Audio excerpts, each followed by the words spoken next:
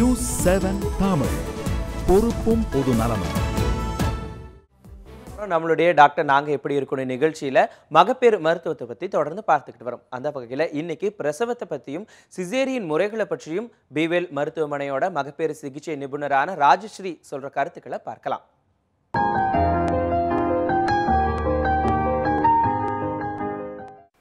வணக்கம் நேர்களே welcome to doctor நாங்க எப்படி இருக்கணும்?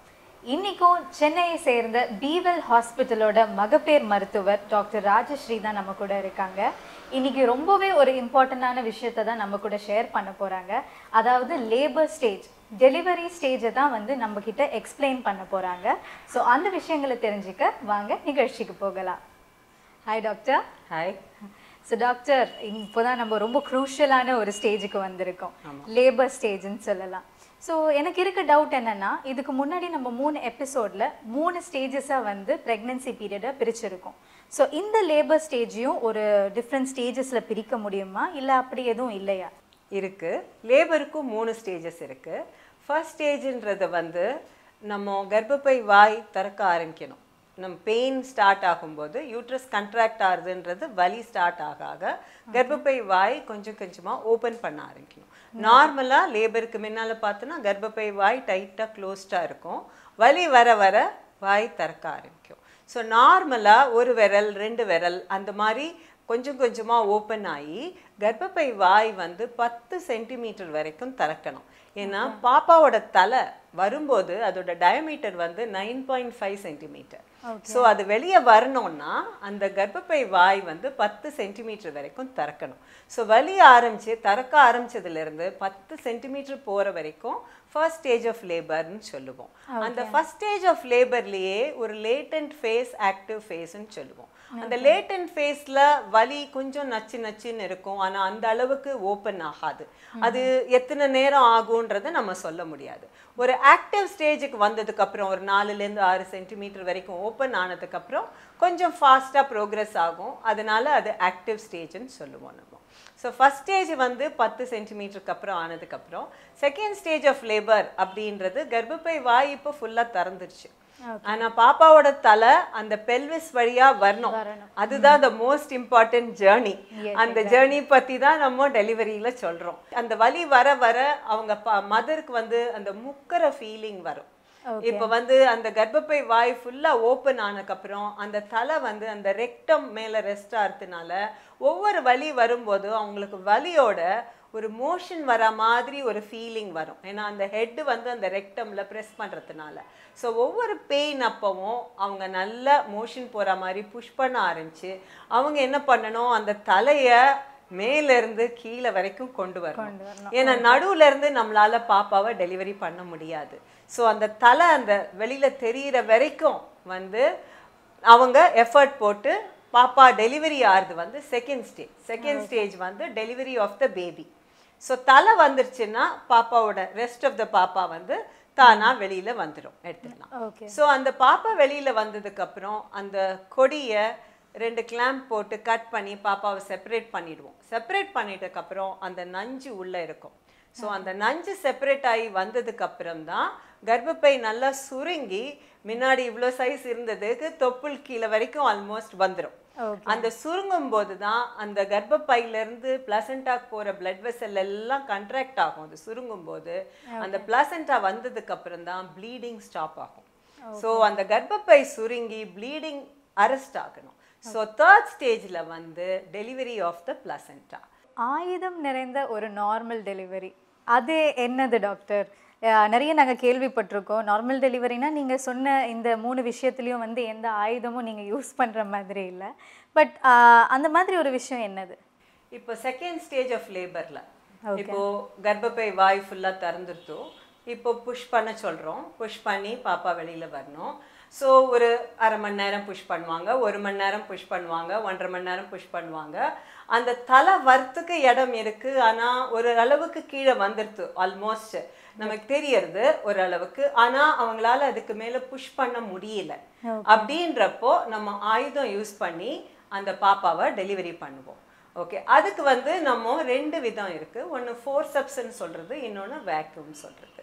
ஸோ ஃபோர்சப்ஸில் பாப்பாவை அப்படி பிடிச்சி ரெண்டு பிளேட்ஸ் இருக்கும். அதை அப்ளை பண்ணிட்டு டெலிவரி பண்ணுறது சம்டைம்ஸ் கொஞ்சம் ஃபுல்லாக திறந்துருச்சு ஆல்மோஸ்ட் தெரியறது. பாப்பாவோட ஹார்ட் பீட் கொஞ்சம் ஸ்லோ ஆக ஆரம்பிக்கிறது.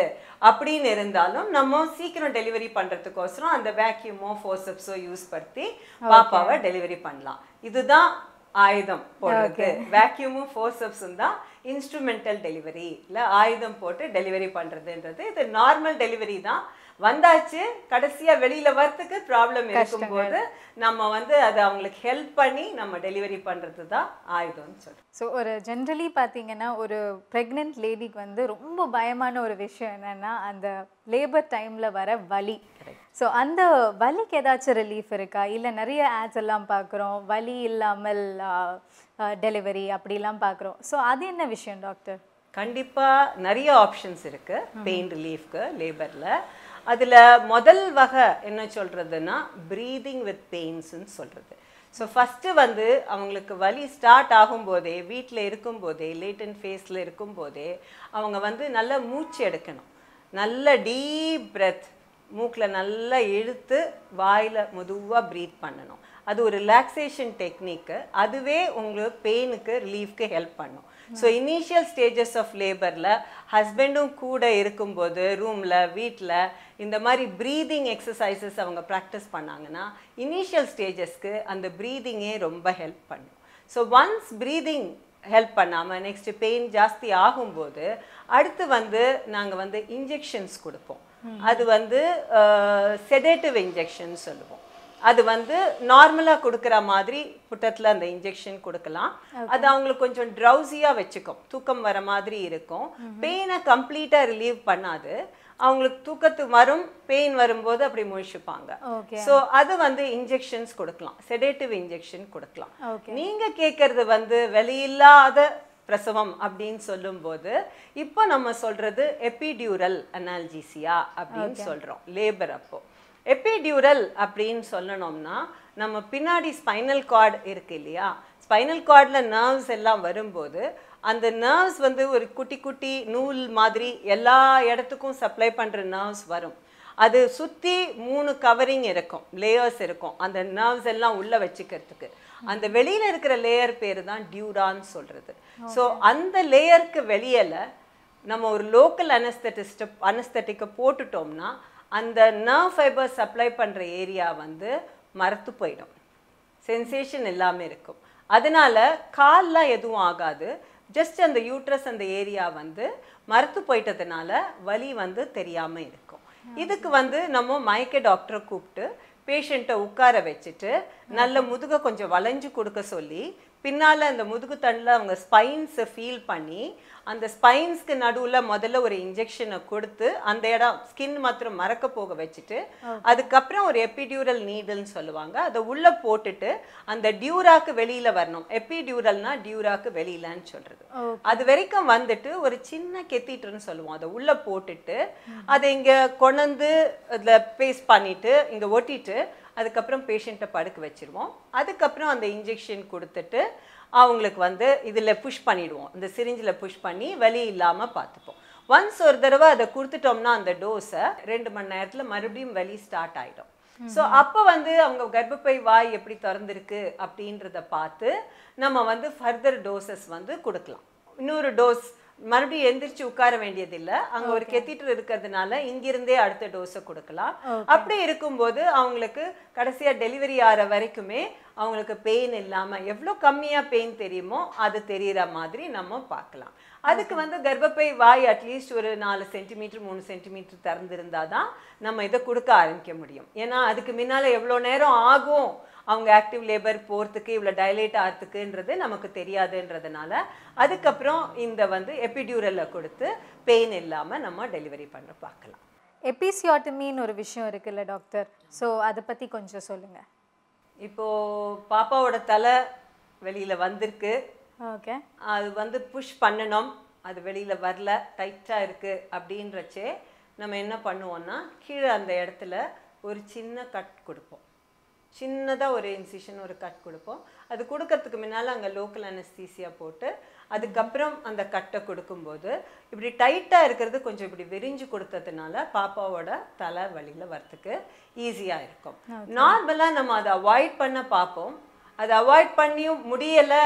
பாப்பாவோட தலை வெளியில் வரலை அப்படின்னா ஒரு லோக்கல் அனஸ்தீசியா கொடுத்து அந்த இடத்த கொஞ்சம் நம் பண்ணிட்டு இந்த கட்டை கொடுத்து நம்ம பாப்பாவை டெலிவரி பண்ணுறோம் அதுக்கு பேர் தான் எபிசியாட்டமின்னு சொல்கிறது அது வந்து ஒரு க்ளீன் சர்ஜிக்கல் கட்டு அதனால வந்து என்ன ஆகும்? உங்களுக்கு அதை கொடுக்காம பாப்பா தலை வரத்துக்கு கஷ்டமா இருந்தா அது நேர டயர் ஆகி சம்டைம்ஸ் ரெக்டம் வரைக்கும் போகலாம். இல்ல உள்ளுக்குள்ள ஏதாவது டயர் ஆகி ப்ளீட் ஆகலாம். அதெல்லாம் அவாய்ட் பண்றதுக்கு சர்டன் சுச்சுவேஷன்ஸ்ல நம்ம இதை கொடுக்குறோம். அது கொடுத்ததுக்கு அப்புறம் என்ன பண்ணுவோம்? நம்ம வந்து அதை சூச்சர் பண்ணிடுவோம். ஸோ பிளாசண்டா வந்ததுக்கு அப்புறம் அதை வந்து நம்ம சூச்சர் பண்ணிடுவோம். அந்த சூச்சர் பண்ணும்போது தையல் போடும்போது நம்ம அப்சார்பபிள் சூச்சர்ஸ் யூஸ் படுத்துவோம். அதனால தையல் பிரிக்கணும் அப்படின்னு அவங்க வர வேண்டாம் அதுக்கு. ஸோ அதுவே அப்சர்வ் ஆகி தானே அந்த கட் ஹீல் ஆகும். அந்த கட் வந்து கொஞ்சம் பெயின் இருக்கும்ன்றதுனால அதுக்கு நம்ம பெயின் தெரியாம இருக்கிறதுக்கு நம்ம டேப்லெட்ஸ் கொடுத்து அந்த பெயினை பார்த்துக்கலாம். Okay doctor. ஸோ நம்ம லேபர் ஸ்டேஜ் வந்து எப்படி ஒரு சிசேரியன் அப்படின்ற ஒரு லெவலுக்கு வருது? நார்மலாக வந்து நம்ம எல்லாருக்குமே நார்மல் டெலிவரியை தான் ட்ரை பண்ண விருப் விரும்புவோம். அதுதான் எல்லாரும் விருப்பப்படுவாங்க கூட. ஆமா. ஓகே ஸோ நமக்கு வந்து இப்போ முதல் டெலிவரி முப்பத்தி ஏழு வாரம் ஆயிடுத்து பாப்பாவோட தலை கீழே இருக்கு திரும்பி இருக்கு அப்படின்னா ஒரு வெஜைனல் டெலிவரி நார்மல் டெலிவரி ஆக சான்சஸ் ஒரு எண்பத்தஞ்சு சதவிகிதமாவது இருக்கு. ஓகே அது வந்து நம்ம அதை எப்படி ஃபாலோ பண்ணணும்னா நார்மல் டெலிவரி அப்போ என்ன ஆகணும்னா ஒன்று நமக்கு வந்து கர்ப்பப்பை வாய் திறக்கணும். நான் சொன்ன மாதிரி பத்து சென்டிமீட்டருக்கு வாய் திறக்கணும். ஸோ அது ரெண்டு சென்டிமீட்டர் மூணு சென்டிமீட்டர்லேருந்து ஆரம்பித்து அது பத்து சென்டிமீட்டர் வர வரைக்கும் நமக்கு பொறுமையாக வெயிட் பண்ணணும். அந்த பத்து சென்டிமீட்டர் வரத்துக்கு அவங்களுக்கு அப்போ வலி கம்மியாக இருக்குது அப்படின்னா அந்த வலி வரத்துக்கு நம்ம இன்ஜெக்ஷன்ஸ் கொடுக்கணும். அண்ட் த்ரூ அவுட் அந்த லேபர் டெலிவரி அப்போது அந்த ஒரு சப்போர்ட் எமோஷனல் சப்போர்ட் வேணும் அவங்களுக்கு. ஹஸ்பண்ட் வந்து உள்ள இருந்து லேபர் ரூம்ல இருந்து ப்ரீதிங் ப்ரீதிங் கூட பண்ணி நம்மளும் என்கரேஜ் பண்ணி கூட அது பண்ணும்போது அந்த செகண்ட் அந்த first stage of labour active ஃபேஸில் ஹெல்ப் ஆகும். அதே மாதிரி பெயின் ஜாஸ்தியாக இருக்குது அப்படின்றப்போ எப்பிடியூரல் கொடுத்து சப்போர்ட் பண்ணுறோம் ஸோ இந்த மாதிரி ஆகும்போது நமக்கு கர்ப்பப்பை வாய் வந்து திறக்கலை. நம்ம வந்து பெயின் ரிலீஃப் கொடுத்தாச்சு. கர்ப்பப்பை வாய் வலி வந்து திறக்கிறதுக்கு நிறைய ஆப்ஷன்ஸ் நம்ம ட்ரிப் எல்லாம் போட்டு பண்ணியும் கர்ப்பப்பை வாய் திறக்கலை அப்படின்னு சொன்னால் நம்ம வந்து அதுக்கு மேலே வெயிட் பண்ண முடியாது. அப்படின்றப்போ நம்ம ஒரு எமர்ஜென்சி சிசேரியன் பண்ணுறோம் அதே மாதிரி கர்ப்பப்பை வாய் ஃபுல்லாக திறந்ததுக்கப்புறம் பாப்பாவை தலை புஷ் பண்ணுறதுக்கு ட்ரை பண்ணுறாங்க ஆனால் அது வந்து வெளியே வரமாட்டேன்றது. ஓரளவுக்கு கீழே வந்தால் தான் நம்ம ஆயுதம் போட முடியும். ஸோ அந்த கர்ப்பப்பை அவங்களுடைய பெல்விஸ்குள்ள அந்த பாப்பாவோட தலை கரெக்டாக ஃபிட் ஆகி உள்ளே போனாதான் அது வெளியே வரும். ஸோ அந்த மாதிரி அந்த ஃபிட் கரெக்டாக இல்லை அப்படின்னு நம்ம சொன்னால் அந்த பர்டிகுலர் பெல்விஸ்க்கு அந்த பாப்பாவோட தலை பெருசாக இருக்குது வர முடியல அப்படின்னா அவங்கள ஒரு மணி நேரம் புஷ் பண்ண வச்சாச்சு ரெண்டு மணி நேரம் புஷ் பண்ண வச்சாச்சு. அவங்க எக்ஸாஸ்டட் ஆயிட்டாங்க மூணு மணி நேரம். அவங்களால புஷ் பண்ண முடியல அப்படின்னு சொன்னா அப்போ வந்து நம்ம சிசேரியன் பண்றோம். அதுக்கப்புறம் இன்னொரு காரணம் வந்து த்ரூ அவுட் இந்த லேபர் அப்போ நம்ம பாப்பாவோட ஹார்ட் பீட்டை மானிட்டர் பண்ணணும். ஸோ ஹார்ட் பீட் எப்பயாவது பாப்பா குறைஞ்சிச்சு அப்படின்னா அப்பயும் வந்து நம்ம செவரல் மெத்தட்ஸ் பொசிஷன் சேஞ்ச் பண்ணி பார்த்து ட்ரிப்பு குறைச்சி எல்லாம் ட்ரை பண்ணலாம். அப்படியும் ஹார்ட் பீட் கம்மி ஆயிட்டே வந்ததுன்னா அப்போ நம்ம சிசேரியன் பண்ணுறோம் ஸோ நார்மல் டெலிவரிக்கு ட்ரை பண்ணும்போது நமக்கு இதெல்லாம் ஆகலை வாய் திறக்கலை தலை இறங்கலை பாப்பாவோட தலை இறங்க மாட்டேன்றது இல்லை ஹார்ட் பீட் ட்ராப் ஆகுது அப்படின்னா நம்ம வந்து எமர்ஜென்சி சிசேரியன் பண்ணுறோம் இதை தவிர எலெக்டிவ் சிசேரியன் அப்படின்னு அதாவது இவங்கள நார்மல் டெலிவரிக்கு விட முடியாது. இவங்களுக்கு நம்ம எலெக்டிவாக சிசேரியன் பண்ணணும் அப்படின்னு நினைக்கிறோம் சர்டன் காசஸ் இப்போ நான் சொன்ன மாதிரி பாப்பா தலை கீழே இல்லாமல் சப்போஸ் பிரீச் புட்டும் கீழே இருந்ததுன்னா அது ஒரு முப்பத்தாறு முப்பத்தேழு வாரத்துல அந்த பாப்பாவை டேர்ன் பண்ண பார்க்கலாம். ஸோ அது டேர்ன் ஆகி தலை கீழே வந்துருத்துன்னா தென் நமக்கு நார்மல் டெலிவரிக்கு சான்சஸ் இருக்கு. ஸோ ஒரு முப்பத்தெட்டு வாரம் வரைக்கும் வெயிட் பண்ணியும் அது டேர்ன் ஆகலை அப்படின்னு சொன்னா ப்ரீச் நார்மலாக டெலிவரி ஆகும்போது பாப்பாக்கு வந்து கஷ்டம் ஏற்படுற சான்சஸ் ஜாஸ்தின்றதுனால அப்போ நம்ம சிசேரியன் பண்றோம். ஓகே. பாப்பாவோட வெயிட்டை நாங்க ஸ்கேன்ல பார்த்துட்டோம். அது ரொம்ப பெருசா இருக்கு அப்படின்னு நம்ம சிசேரியன் பண்ணக்கூடாது. ஏன்னா பாப்பாவோட வெயிட்டு நம்ம ஸ்கேன்ல பார்க்கும்போது கரெக்டா அசஸ் பண்ண முடியாது. எப்பவுமே நம்ம ட்ரையல் கொடுக்கணும். அந்த பாப்பா அந்த பெல்விஸ்ல வர முடியா இருந்ததுன்னா நம்ம வந்து ஓகே நார்மல் டெலிவரிக்கு ட்ரை பண்ணலாம் அப்படின்னு சொல்லிட்டு வெயிட் பண்ணலாம். சில கண்டிஷன்ல என்ன ஆகும்னா பாப்பா வந்து ரொம்ப சின்னதா இருக்கும். அதாவது நம்ம ரெண்டரை கிலோ நார்மல் அப்படின்னு சொல்லுவோம் பாப்பாக்கு இந்தியன் வெயிட் அதுக்கு கீழே இருந்தா லோ பர்த் வெயிட்னு சொல்லுவோம். பாப்பா சின்னதா இருந்தா கூட நமக்கு வந்து அந்த நஞ்சிலேருந்து பாப்பாக்கு ரத்த ஓட்டம் நல்லா இருந்து எல்லாமே நம்ம வந்து இந்த நான் முன்னாடி உங்களுக்கு சொன்னேன் நான் ஸ்ட்ரெஸ் டெஸ்ட்னு பண்ணுவோம் ஹார்ட் பீட்டை ரெக்கார்ட் பண்ணுவோம்னு. அதே மாதிரி லேபர் அப்பவும் ரெக்கார்ட் பண்ணுவோம். அதை ரெக்கார்ட் பண்ணும்போது நல்லா இருந்து பாப்பாவால அந்த லேபரோட ஸ்ட்ரெஸ்ஸை தாங்க முடியும் அப்படின்னு சொன்னா நம்ம நார்மல் டெலிவரிக்கு ட்ரை பண்ணணும். ஸோ ஹார்ட் பீட்ல ஏதாவது வேரியேஷன் இருக்கு பாப்பாக்கு ரத்த ஓட்டம் சரியா இல்ல அப்படின்றது நம்ம ஸ்கேன்ல டாப்லர்னு சொல்லுவோம். அது மூலமா தெரிஞ்சுக்கலாம். இந்த மாதிரி வளர்ச்சி கம்மியா இருக்கும்போது பாப்பாக்கு ரத்த ஓட்டத்துல ஏதாவது ப்ராப்ளம் இருக்கு அப்படின்னா இந்த பாப்பாவால நார்மலா வர முடியுமா? அந்த ஸ்ட்ரெஸ்ஸை தாங்குமா? அப்படின்ற டவுட் இருந்ததுன்னா அப்போ வந்து நம்ம சிசேரியன் பண்றதுக்கு சான்சஸ். அதே மாதிரி பாப்பாவை சுத்தி தண்ணி ரொம்ப கம்மி. இதெல்லாம் நஞ்சு ஃபங்க்ஷன் கம்மி ஆக ஆக தண்ணி ரொம்ப கம்மி ஆயிடுச்சுன்னா அப்போ வந்து என்ன ஆகும்? நமக்கு நார்மலா டெலிவரி ஆகும்போது வலி வரும்போது அந்த கொடி கம்ப்ரஸ் ஆச்சுன்னா ஹார்ட் பீட் ஸ்லோ ஆகும். அதனால அந்த கண்டிஷன்ல நம்ம பண்ணுவோம். அதை தவிர்த்து நமக்கு வந்து இப்போ பிளட் ப்ரெஷர் ரொம்ப ஜாஸ்தியா இருக்கு கண்ட்ரோல்ல வரல பாப்பா மெச்சூர் ஆயிடுச்சு அப்படின்னா நார்மலா நம்ம கண்ட்ரோல்ல வந்துருத்துன்னா நம்ம நார்மல் டெலிவரி பண்ணலாம். கண்ட்ரோல்ல இல்ல ரொம்ப ஜாஸ்தியா இருக்கு அப்படின்னா பாப்பா வெளியில எடுக்கணும் அப்படின்னு சொன்னா அப்ப வந்து நம்ம சிசேரியன் பண்ண போறோம் தேங்க்யூ டாக்டர் கம்பேரிட்டிவ்லி பார்த்தீங்கன்னா இந்த மூணு எபிசோடை விட இந்த எபிசோட் ரொம்பவே யூஸ்ஃபுல்லாக இருந்தது. ஏன்னா லேபர் ஸ்டேஜில் தான் எல்லா உமன்ஸ்க்கும் நிறைய டவுட்ஸ் வரும். தேங்க்யூ ஸோ மச் இன்னும் நிறைய விஷயங்கள் நாளைக்கும் தொடர்ந்து பேசலாம். Thank you doctor thank you Aishwarya. So நேர்களே நான் சொல்லவே வேண்டாம். இன்றைக்கும் உங்களுக்கு ரொம்பவே ஒரு யூஸ்ஃபுல்லான எபிசோடாக அமைஞ்சது நான் நம்புகிறேன் நாளைக்கும் நிறைய யூஸ்ஃபுல்லான விஷயங்கள் உங்களுக்காக காத்துட்ருக்கு. அதை நீங்கள் பார்க்கணுன்னா வெயிட் பண்ணுங்கள் நாளைக்கு உங்களை சந்திக்கிறேன். Until then it's bye from Aishwarya.